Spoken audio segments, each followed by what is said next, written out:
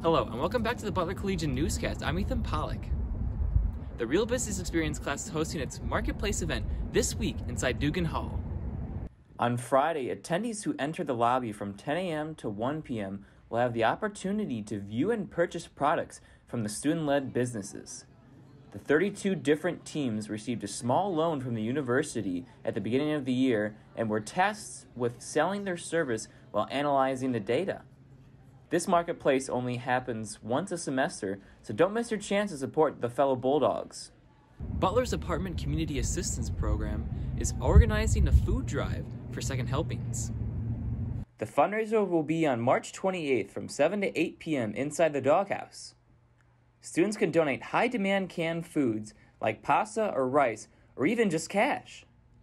For more information on Second Helpings and what they do in the Indianapolis community, visit their website at www.secondhelpings.org. The Butler speech team returned last week from the Pi Kappa Delta National Tournament with some new hardware. Multimedia reporter Eva Hallman shares her experience at one of the largest speech tournaments in the country. So it is currently day three of Pi Kappa Delta, our national tournament. Yep, you heard that right. Today is day three of four of our Pi Kappa Delta National Speech and Debate Competition in West Chester, Pennsylvania. I'm going to take you along today on a little abridged journey of a day in the life. It was a very hectic and crazy week as we've been competing from 8 a.m. to about 6 p.m. every single day. So enjoy a little bit of the highlights of day three. I'm currently walking to one of my last rounds, my last preliminary rounds. I have no idea if I'm going to advance or not, but I'm heading to my dramatic interpretation and my poetry. I'm very excited to go compete with those today. I would have taken you guys along since the start of the day, but having to wake up at 6.30 for the second time in a row kind of left me a little sluggish. So I thought I'll just take you along for the ride once I get here at beautiful West Chester University. So once I get done with the rounds, I'll meet up with the rest of the team. Before we find out if anyone breaks for finals, after!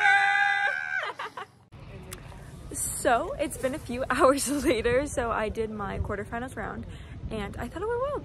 But I'm very proud of my team. We had a lot of people do break in debate, which was really awesome to see. And it is currently a little after 7 p.m. So we've been here for almost 12 hours. And so we're gonna go back to the hotel room, get some pizza, get some homework done, and then be ready and prepared to see who all makes it to the next round of debate and then for semifinals for IE events.